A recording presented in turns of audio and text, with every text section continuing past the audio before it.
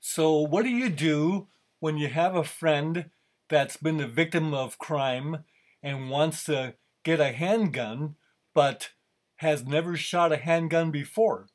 So, you got to go ahead and familiarize them with the various types of handguns, kind of give them information, but do it all safely and have a good time at the range with them because firing the guns gives them a good chance to see what guns are all about and and it's got to be a pleasurable but safe experience. So we start by doing some work at the home.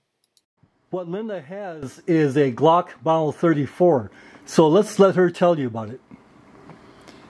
Well, I'm just gonna check. Whoop! I popped out my magazine. the magazine. it popped out, out of out of there. quickly, surprised you, yeah. Quickly. Okay. So now I need to check the. Oh wow, these are hard. I don't think if I had my if I could use my right hand, I would be all right. Remember the push, push pull? Yeah, that I'm trying to do that, but it doesn't. Uh, there.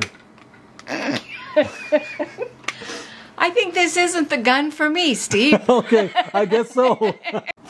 well, turns out that the Glock Model 34 was a little bit challenging for Linda because of the size of the grip frame and also the difficulty in manipulating the slide in order to charge the pistol. But she got all the other handling down pretty well. I think she'll be able to enjoy shooting this at the range. We'll set it up for her. And then I let her know that if she likes the Glock platform, they have smaller frames and the 380 calibers that could very well be what she's looking for if she wants to go with a semi-automatic Glock platform. So the handling and the safety features of dropping the magazine, checking for loaded condition, being able to load it, she got that okay, so I think she'll be fine to enjoy this pistol at the range. Okay, now Linda's going to shoot the 9mm Glock Model 34 and we've gone over the basics of how to make the gun safe, how to load the magazine, how to go ahead and shoot and use the sights. And we're going to be using the white box Winchester 115 grain full metal jackets. Linda's got the hang of using the Maglula. Can you say that, Maglula? Magnula. that sounds like a new dance.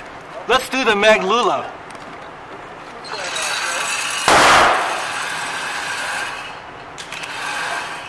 Do, do you think Arturo would like doing the Maglula? I think he would. yeah, let, no, let, let go. Let, let, go of this. There you go. Now go up the top. Now push down. Whoops. Oh, you didn't put it in. Wait. And Linda's going to be shooting on the B-27 target at uh, just a hair under five yards. So here's the Glock in action.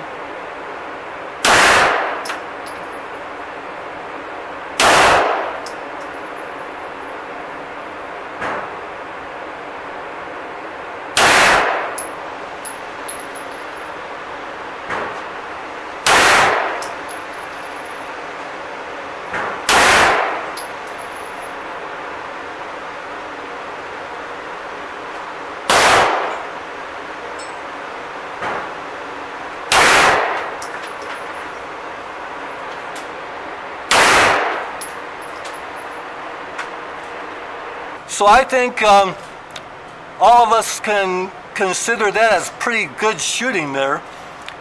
Linda's not quite Annie Oakley, but I think you got some of that blood in you. Anyway, what do you think about the Glock? I like it. It was actually really easy to handle and to fire. Um, if I could just get a smaller one that I can actually uh, check the chamber, that would be perfect. You know, they make semi-automatic pistols that are smaller for a 380 caliber cartridge that's just a little smaller than a 9 millimeter and it's a smaller gun with the springs are easier to, to work so that you could you could really like a 380 pistol. This happens to be a 9 millimeter. So, I mean, what do you think now about the semi-automatic as opposed to the double action revolver? I like the double action revolver, but the semi-automatic is much easier for me to shoot. You want to shoot another 10? Yeah. Okay. That'd be great. There you go. Just hold those sights on target and then press that trigger. You got it. Look at that. They're just going right in there. Yep, they're all going right in there. Hold. Winchester single shot bolt action. Yep, hold those sights right on target, press the trigger. Yep, that was an X-ring hit. That was X-ring hit, the same hole as the last one. Well, that was in there too.